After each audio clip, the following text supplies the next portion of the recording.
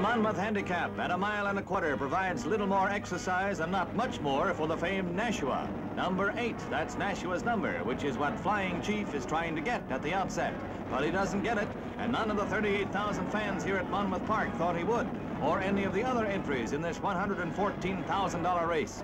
Flying Chief stayed up there as long as he could, but then the veteran Eddie Arcaro said to Nashua, let's go, and Nashua went. Like a flash he went, breezing the rest of the way to the easiest triumph in a long and profitable career.